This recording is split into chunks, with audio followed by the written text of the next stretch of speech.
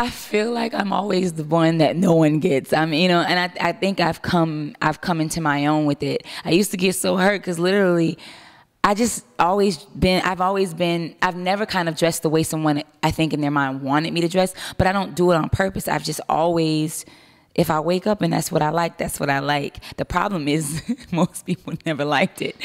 But it's interesting now because the fashion changes all the time. Um, and I think it's interesting what people accept and what they don't because I've always been a chick. If I go to the club, I'd rather wear some jean shorts, a white t shirt, and then maybe some, you know, like a Rick Owens jacket and maybe a McQueen shoe.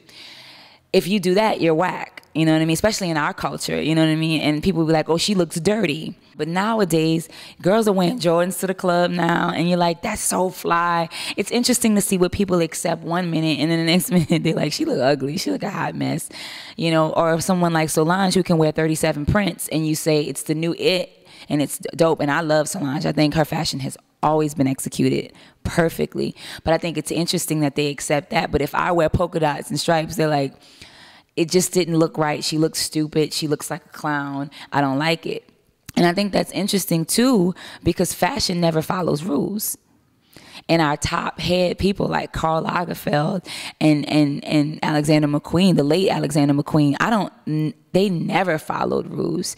And because of it, it's absolutely exquisite. And um, I don't really care if they get it. My, my fashion is basically, if it's, it's effortless. If you get it, you get it. If you don't, then you don't. You know, everyone doesn't love Miu Miu, but it's still fantastic in its own right. Everyone doesn't get Prada. Some people don't get Chanel because it seems very, it's tweed, it's very conventional, and it's very, it's it's style, but it's still brilliant.